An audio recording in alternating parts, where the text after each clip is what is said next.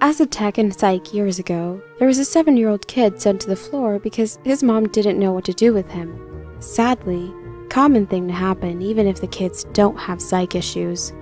Anyway, the mom was shaking and crying, and they had to take the kid into another room. She was genuinely afraid of her own son.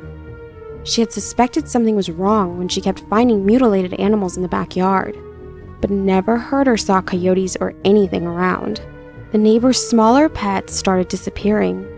The boy had an obsession with knives, hiding them around the house, denying anything when the mom confronted him.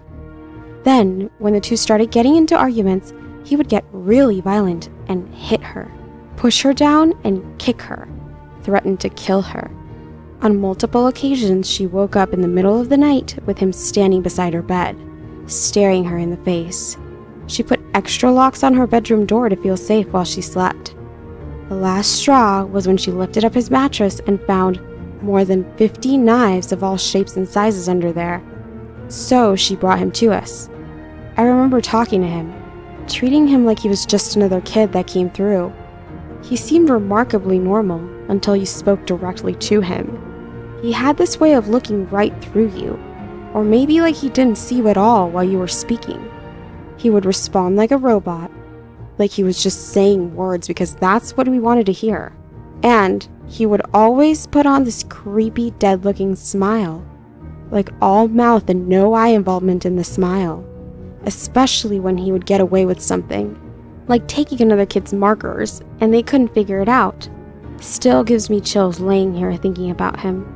I had to get up and close my bedroom door. I believe I met a seven year old psychopath.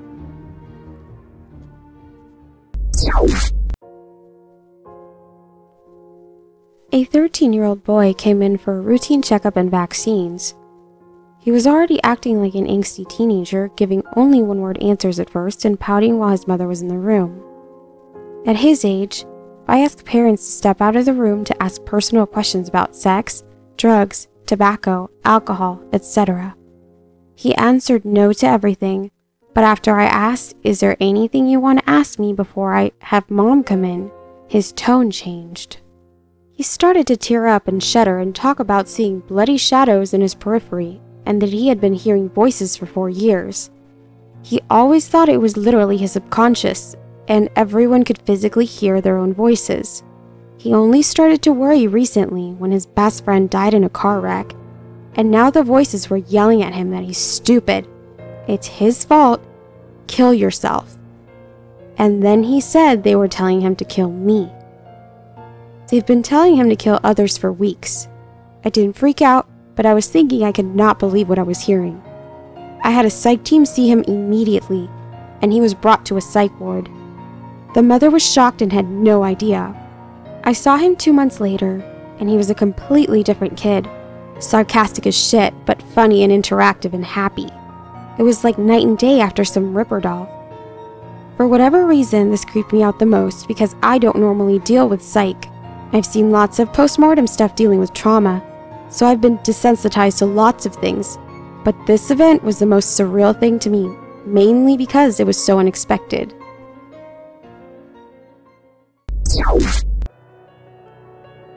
On a medical school rotation in psychiatry, I rotated at a hospital, which is essentially a full time psych ward, for folks who have pleaded insanity or ended up in an acute psych hospital and were eventually transferred here because they could not become well enough to go home.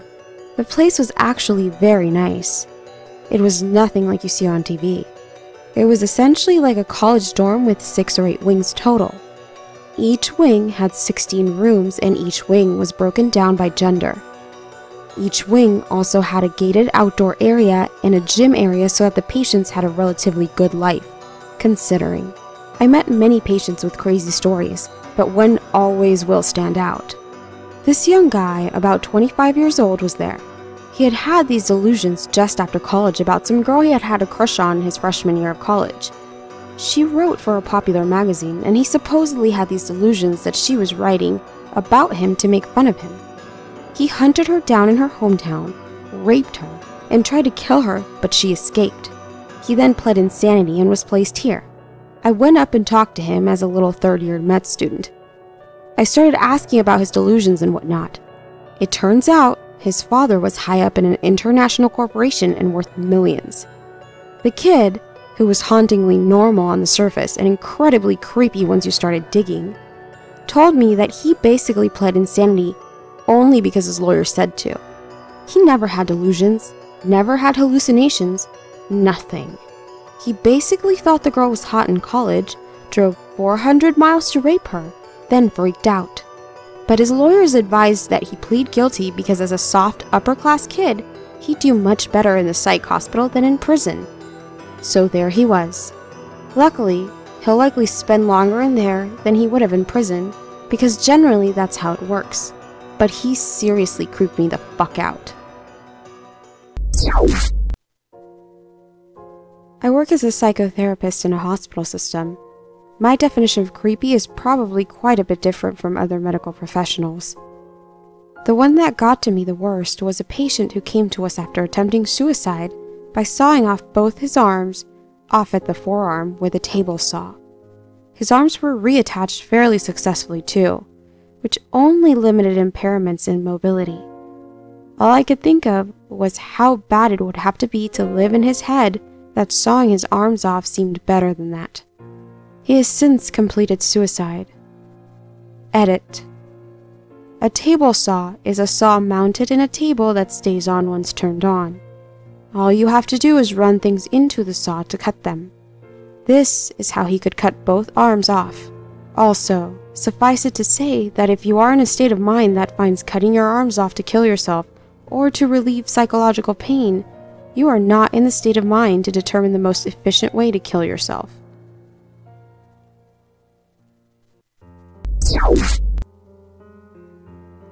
I work in an ER due to my country and state's poor mental health system.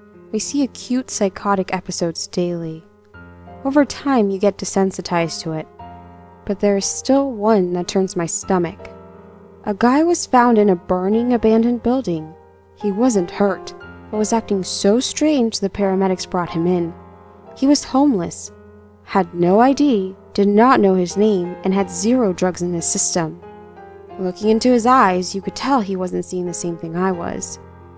So I'm trying to get his name or anything out of him, and he keeps telling me he was a pilot for the Air Force and flew experimental airplanes because he could withstand the G force and his blood was naturally thin. The blood tests that measure this actually were fairly higher than normal, but not elevated to the point he was on medication for it, so he was right on that account. I was at the desk telling a coworker about the stuff this guy was saying when a resident overheard me. He was former Air Force as well, and looked like he had seen a ghost. As soon as I mentioned the name of the base, this doctor freaked out. He said that the city slash base has no roads in or out, and a lot of top secret testing goes down there. He said that you don't know about it unless you've been there. He told me not to talk about it or make a big deal. This gave me an even weirder vibe.